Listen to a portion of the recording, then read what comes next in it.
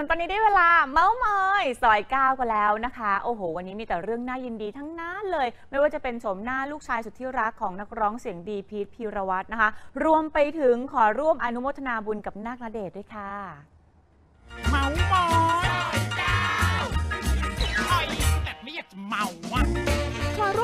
ทนาบุญกับครอบครัวครูกิมยาด้วยนะคะที่สุปตาคนดังณเดชเดินทางไปสงบจิตสงบใจเตรียมเข้าพิธีอุปสมบทที่วัดป่านาหลวงจังหวัดอุดรธานีแล้วตั้งแต่เมื่อวาน โดยช่วงเช้าที่ผ่านมาได้เข้าพิธีปลงผมเป็นหน้าเตรียมบวชในวันพรุ่งนี้ โดยพระครูภาวนาธรรมาพินันเจ้าอาวาสได้ทำการกลิดผมให้ เพื่อสละทิ้งถังโลกให้ออกไปจากใจ ยังไงชาวซอยก้าวก็ขอร่วมอนุโมทนาบุญครั้งยิ่งใหญ่นี้ด้วยแล้วกันค่ะ โอเคนะ